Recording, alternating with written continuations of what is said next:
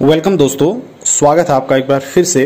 तो उत्तराखंड अधीनस्थ सेवा चयन आयोग, यानी कि यूके ट्रिपल एससी ने एक यहाँ पर क्लियर किया है आप लोगों के लिए ओबीसी सर्टिफिकेट को लेकर के। जैसे आप डॉक्यूमेंट वेरिफिकेशन में जाते हैं तो बार बार आप लोगों के कमेंट भी आते हैं कि आपका डॉक्यूमेंट वेरिफिकेशन के अंदर जो है स्थायी जो सॉरी ओबीसी का प्रमाण पत्र है उसमें या फिर ई डब्ल्यू एस का प्रमाण पत्र है, कोई भी प्रमाण पत्र है, उसकी एक्सपायर डेट हो चुकी है और उसका ये अभी हम क्या करें क्या इसमें हमको बाहर कर देंगे। तो ये सारी चीज़ें जो है अभी क्लियर कर दी गई है, मैं आपको बता देता हूँ।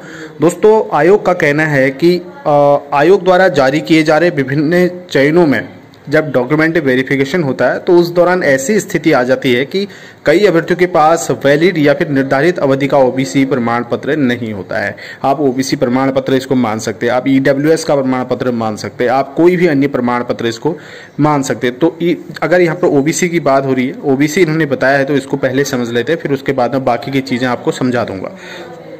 प्रारंभ में ऐसी स्थिति आने पर कुछ मामलों में आयोग द्वारा संबंधित जिला प्रशासन से स्पष्टीकरण भी लिया गया, लेकिन सही स्पष्टीकरण नहीं आने के बाद आयोग द्वारा बैठक में इस मामले को रखकर व्यापक विचार विमर्श किया गया।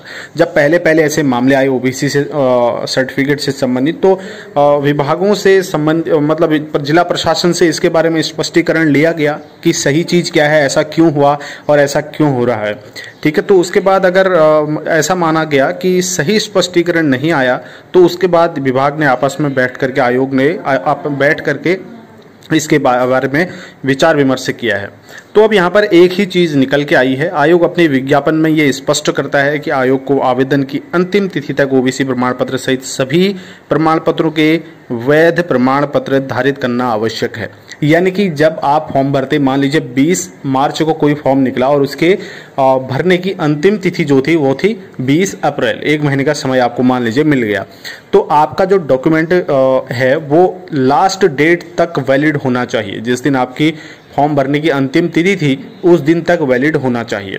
यानी कि 20 अप्रैल तक आपका सर्टिफिकेट जो है वैलिड होना चाहिए। मान लीजिए उसके बाद एक्सपायर भी हो जाता है 20 को आ, उसकी डेट है और मान लीजिए 25 तारीख को आपका एक्सपायर हो गया तो आप दूसरा बना सकते हैं। क्योंकि 20 तारीख तक तो आपका वो फॉर्म वो डॉक्यूमेंट वेरिफिकेशन में बाहर नहीं होंगे आप क्योंकि बीस तारीख तक आपका वो वैलिड था जब तक फॉर्म भरने की लास्ट डेट थी। और यही आयोग ने स्पष्ट यहाँ पर को किया है। ठीक है? तो सभी अभ्यर्थियों के लिए समान नीति का पालन आवश्यक है। अतः भविष्य में सभी अभ्यर्थियों को निर्धारित तिथि तक धारित वैध या वैलिड प्रमाण पत्र होना आवश्यक। अन्यथा सम्यक प्रमाण पत्र धारित न होने पर ऐसे अभ्यर्थी का अभ्यर्थन निरस्त किया जा सकता है।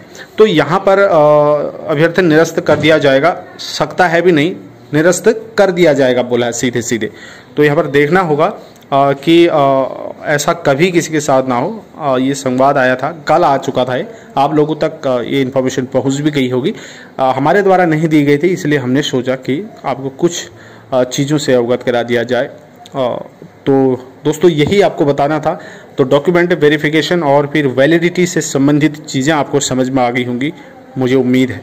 नेक्स्ट वीडियो मिलेंगे, तब तक के लिए ढेर सारी शुभकामनाएँ। धन्यवाद, जय हिंद।